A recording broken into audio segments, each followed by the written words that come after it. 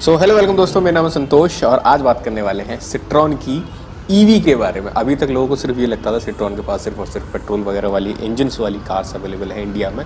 But ऐसा नहीं है सिट्रॉन के पास ईवी भी अवेलेबल है और ये भी मैं आपको बता दूँ कि जो एस वाला सेगमेंट है ना ईवी वाले के मामले में जो कि इंडिया में हाल फ़िलहाल चल रहा है, जैसे कि टाटा नेक्सॉन हो गई महिंद्रा की एक्स वी फोर हंड्रेड हो गई, ये जो ईवी की सेगमेंट है ना, उसमें भाई सिट्रॉन की जो सी थ्री आती है, उसी में आपको ईवी का ऑप्शन मिलता है। और मैं ये कहूँगा कि ये जो ईवी है ना, अभी तक इस सेगमेंट में सबसे सस्ती ईवी होने वाली है इसकी प्राइसिंग वगैरह की, जब मैं आपको बात करूँगा, तब आपको समझ जाओगे।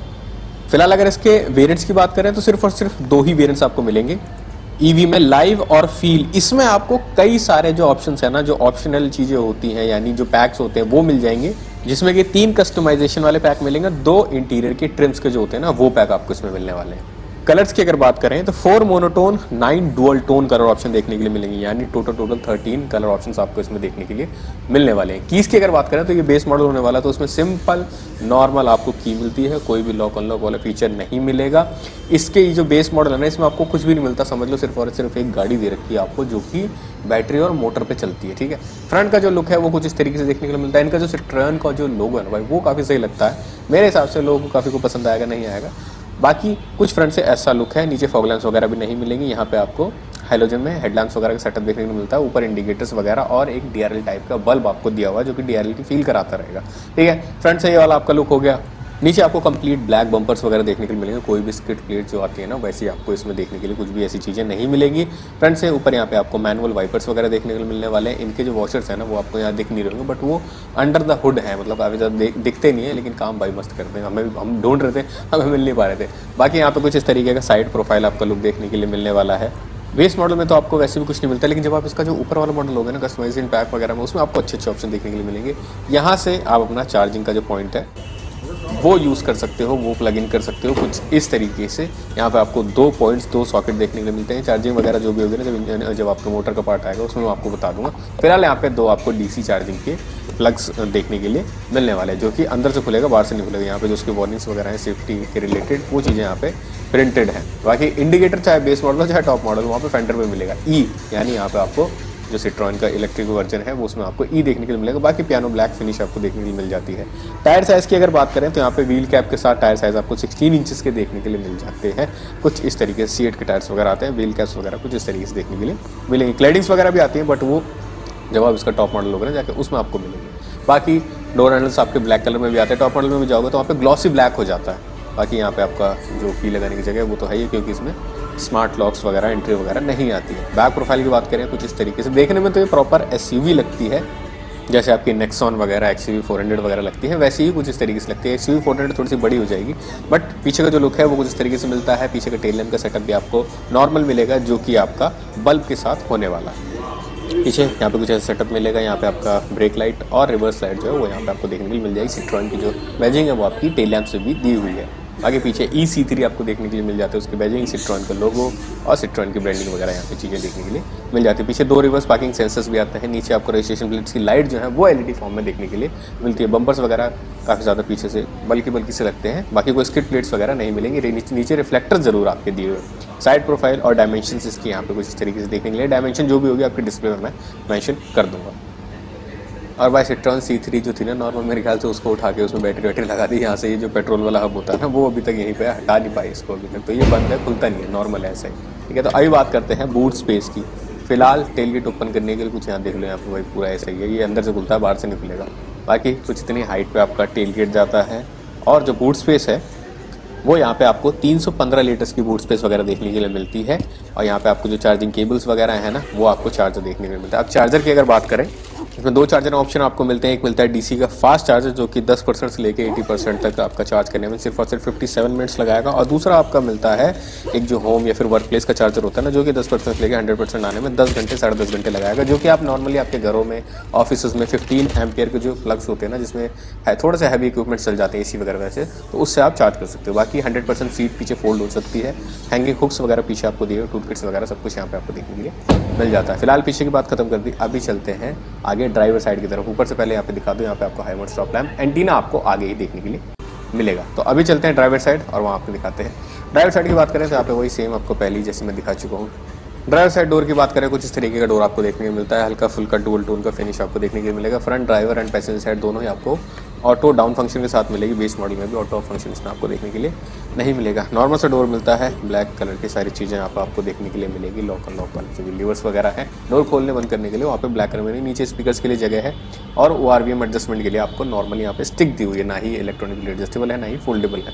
सीट्स की बात करें तो जो उसकी ड्राइवर एंड पैसेंजर सीट है ना, उसका अंडर थाई सपोर्ट भाई बहुत ज़्यादा एक्सटेंडेड है। तो नीचे से कंफर्टेबल तो थोड़ा बहुत आपको फील होगा। सीट्स काफ़ी ज़्यादा अच्छी हैं एडजस्टेबल हेडर के साथ नहीं आती है। हाइट एडजस्टमेंट आपको इसके अपर वाले मॉडल में देखने के लिए मिलेगा। बेस मॉडल में आपको हाइट एडजस्टमेंट देखने के लिए नहीं मिलता है।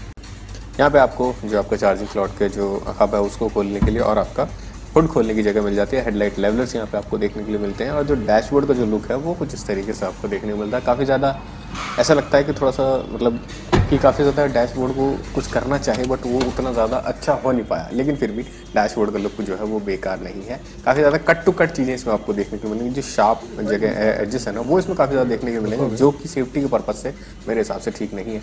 सिट्रॉन के लोगों के साथ आपका स्टेयरिंग व्हील मिलता है, कुछ इस तरीके से, ना ही कोई कंट्रोल्स मिलेंगे, ना ही लेदर रैप यहाँ पे आप लोग की लगा सकते हो ऑन ऑफ़ करने के लिए स्टार्ट स्टॉप करने के लिए। यहाँ पे आपका हेडलैम्प्स के कंट्रोल्स हैं, यहाँ पे आपको वाइपर से रिलेटेड सारे कंट्रोल देखने के लिए मिलते हैं। और यहाँ पे आपका ए सी मिल जाता है नॉर्मल ब्लैक फिनिश के साथ अंदर आपको यहाँ पे ट्विटर्स के लिए जगह मिल जाती है। फ़िलहाल इसमें कुछ भी ऑप्शन आपको देखने के लिए म्यूज़िक के रिलेटेड नहीं मिलेगा। इन्फोटेनमेंट सिस्टम की बात करें तो काफ़ी ज़्यादा यूनिक और ऐसा लगता है कि गेम का जो रिमोट रिमोट जैसे होते हैं ना, वैसा आपको यहाँ पे देखने के लिए मिलता है। काफ़ी ज़्यादा लाइट आ जाती है चमक धमक हो जाता है यहाँ पे। छोटी सी बीच में हमारी डिस्प्ले दी हो, जिसको आप यहाँ से अपने स्टॉक से कंट्रोल कर सकते हो। जितनी भी आपकी रेंज बची होगी, क्या रेंज है, क्या बैटरी परसेंटेज है T trip A trip B वगैरह, सारी चीज़ें गेयर की पोजिशनिंग कौन सी है न्यूट्रल ड्राइव वगैरह स्टॉप वगैरह वाली जो भी वो चीज़ें यहाँ पे बताता रहेगा।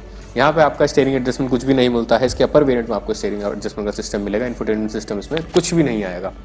नॉर्मल सा मिरर मिलता है, ऊपर आपको वारंटी में टिकट होल्डर तक नहीं है।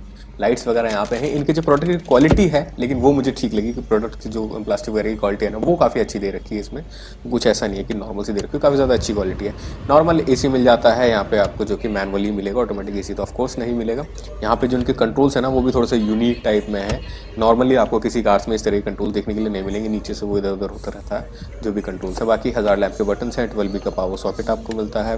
यहाँ पे फ़ोन वगैरह रखने की जगह मिल जाती है। दो दो कंपार्टमेंट्स हैं बॉटल होल्डर्स वगैरह है। सॉरी कप होल्डर्स वगैरह है और यहाँ पे आपको मिल जाता है। फुल्ली इलेक्ट्रॉनिक ई टॉगल इसको सिट्रॉन कहता है, जहाँ पे आपका, यहाँ पे आपका ड्राइव मोड्स मिलते हैं इको एंड नॉर्मल वगैरह का। यहाँ पे कुछ इस तरीके से टॉगल मिलता है, जो कि काफ़ी ज़्यादा अच्छा लगता है वैसे देखने में इलेक्ट्रॉनिक गेयर चेंजिंग के साथ। यहाँ पे हैंड ब्रेक्स वगैरह मिल जाते हैं, थोड़े बहुत स्पेस वगैरह मिल जाते हैं आमरस वगैरह कुछ भी यहाँ देखने के लिए नहीं मिलेगा, ना ही पीछे कोई एसी वेंट्स आते हैं। फ्रंट का जो डैशबोर्ड है वो कुछ इस तरीके का देखने के लिए मिलता है। अभी बात करते हैं इसके ग्लब बॉक्स की। ग्लब बॉक्स इसमें काफ़ी ज़्यादा डीप मिलता है, कुछ इस तरीके से। अच्छा खासा स्पेस आपको देखने के लिए मिलेगा, जो भी आपका छोटा मोटा सामान है थोड़ा सा बड़ा भी है तो वो आ जाएगा। नीचे की बात करें एक्सलेशन ब्रेक दो ऑप्शन आपको यहाँ पे देखने के लिए मिलते हैं। डेड पेडल का कोई भी ऑप्शन आई थिंक इसमें नहीं आपको मिलेगा। सेफ्टी के नाम पे दो एयरबैग्स मिलते हैं driver and passenger side ABS with EBD reverse parking sensors rear door manual child locks वगैरह सीट बेल्ट से माइंडर ड्राइवर को ड्राइवर साइड सारे सेफ्टी फीचर्स आपको कुछ इस तरीके से देखने के लिए मिलेंगे। ठीक है? पीछे के डोर की बात करें तो पीछे का डोर कुछ इस तरीके से देखने के लिए आपको मिलता है पावर विंडो सिर्फ़ और सिर्फ़ फ्रंट दो ड्राइवर पैसेंजर साइड मिलेगी। पीछे आपको नॉर्मली वही आपके लीवर्स वगैरह कुछ इस तरीके से पुरानी यादों के साथ आपको यहाँ पे देखने के लिए मिलेंगे। बॉटल लोड अच्छा खासा ठीक ठाक दिया हुआ है। एक लीटर की बॉटल आपका आराम से ईजिली आ जाएगी। सीट की बात करें तो वही फैब्रिक फिनिश आपकी सीट्स में आती है। नॉन एडजस्टेबल हेडरेस्ट के साथ 100 परसेंट सीट फोल्ड हो जाती है। सीट बेल्ट वगैरह पीछे भी आपको देखने के लिए मिलते हैं। चाइल्ड सेफ्टी की जो आईसो फिक्स वगैरह होता है, वो चीज़ें यहाँ पे आपको देखने के लिए नहीं मिलेंगी। और ना ही कोई आमरस वगैरह देखने के लिए मिलेगा। तो अभी बैठते हैं अंदर और जो स्पेस वगैरह उसके बारे में बात करते हैं। तो अंदर के स्पेस की बात करें तो अंदर का स्पेस आपको नॉर्मल देखने के लिए मिलता है। नीज मेरी फ़िलहाल टच नहीं हो रही सीट्स पूरी पीछे हैं।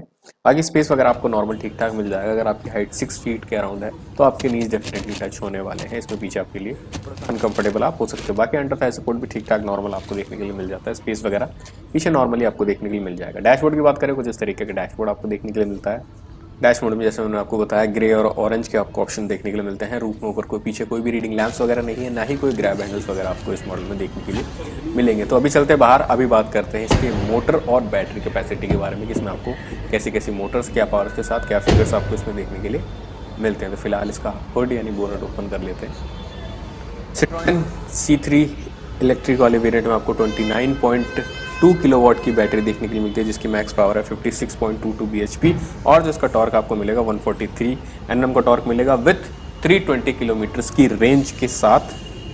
और इसमें आपको सेवन ईयर्स और 140 किलोमीटर की जो बैटरी की वारंटी है, वो मिलती है, जो भी पहले हो जाए। और मोटर की वारंटी की बात करें तो पाँच साल और एक लाख किलोमीटर की मोटर्स की वारंटी है, जो भी पहले हो जाता है। स्टैंडर्ड वारंटी जो है, वो आपकी तीन साल और एक लाख पच्चीस किलो, एक लाख पच्चीस हज़ार किलोमीटर की वारंटी आपको इसमें देखने के लिए मिल जाती है। अंडर गार्ड प्रोडक्शन वगैरह अच्छा खासा, सब कुछ कवरिंग वगैरह अच्छी खासी मिल जाती है। अंडर द हुड भी आपको की बैजिंग देखने के लिए मिलेगी। सो so, अब बात करते हैं प्राइसिंग के बारे में तो ग्यारह लाख पचास हज़ार रुपये मात्र इसका एक शोरूम प्राइस है। अब आप कंपेयर कर सकते हो बाकी अदर ईवी से एसयूवी वाले सेगमेंट में जो आती है टॉप मॉडल की प्राइस करें जो कि फ़ील्ड डुअल टोन का होता है वो होता है बारह लाख तैंतालीस हज़ार रुपये ये हो गई इसकी सारी सारी प्राइसिंग की बात। आप करते हैं यहाँ पर वीडियो का एंड कैसी लगी आपको वीडियो कमेंट सेक्शन में ज़रूर बताएँ और अगर आप चैनल पर नया है तो सब्सक्राइब करना बिल्कुल ना भूलें बेल आइकन दबा के नोटिफिकेशन प्रेस कर लें ताकि हमारे आने वाले वीडियोज़ आपको ईजिली मिलते रहें। बहुत जल्द मिलेंगे आप सभी नेक्स्ट वीडियो में तब तक thank you so much for watching take care bye